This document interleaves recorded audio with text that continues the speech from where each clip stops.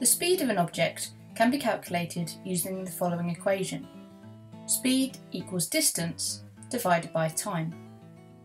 The units for speed are metres per second, or m slash s. The units for distance are metres, m, and the units for time are seconds, s.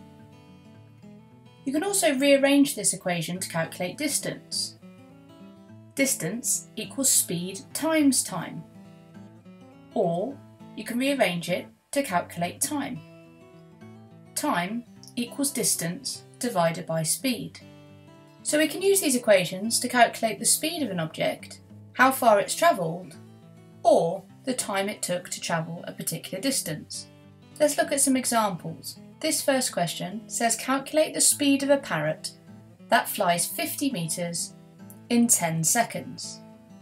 So we use our equation speed equals distance divided by time and then we put our numbers in for distance and time. So the speed would equal 50 metres divided by 10 seconds. So the speed of the parrot would be 5 metres per second.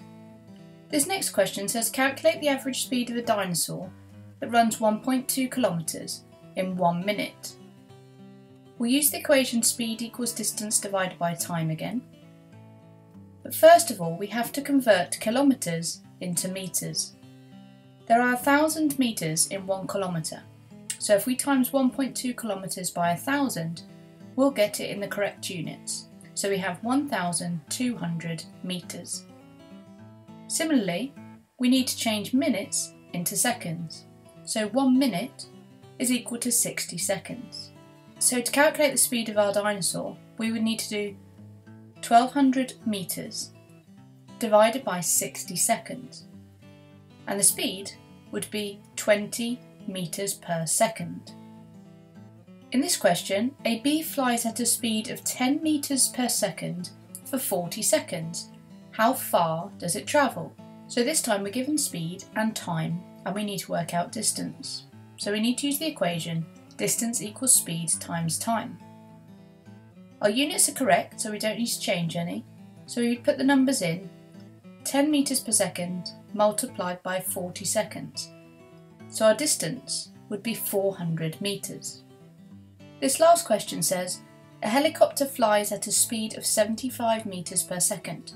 How long would it take to travel 15 kilometres? So this time, we have a speed and a distance, and we need to work out time. So we would use the equation time equals distance divided by speed. We would first need to convert the 15 kilometres to metres.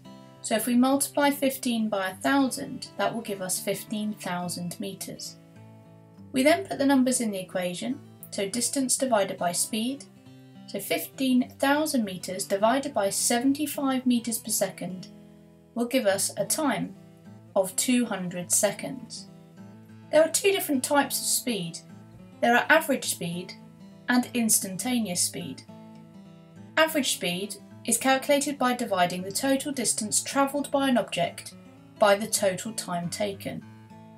Average speed takes into account that the object may not have a constant speed and might speed up or slow down along its journey. For example, if you were walking to school, you might walk very fast at the beginning of your journey, and then perhaps if you met a friend, you might walk a lot slower whilst you're chatting on your last part of the journey towards school. When you're calculating your speed for that journey, we would describe this as your average speed because you might be going faster and slower at different points in your journey so this averages out if you do the total distance divided by the total time taken.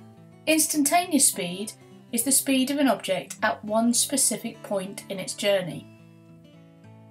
The speedometer in a car tells the driver their instantaneous speed. So when drivers are travelling along in their cars, they can see their instantaneous speed at that specific point in their journey. Some typical speeds that you need to be aware of. The typical speed of somebody walking is 1.5 metres per second. Somebody running is 3 metres per second. If you are cycling, this increases to 6 metres per second. In a car, you might be travelling at perhaps 25 metres per second. A train will typically travel at 55 metres per second, and in a plane you'll be going much faster at around 250 metres per second. Hi guys, if you enjoyed that last video then please click on the screen to subscribe. You can also find all my videos in one place at gcserevisionmonkey.com. If you're a teacher, check out the Key Stage 3 package at sciencesurgery.com. It contains all of the Revision Monkey videos as well as loads more Key Stage 3 resources.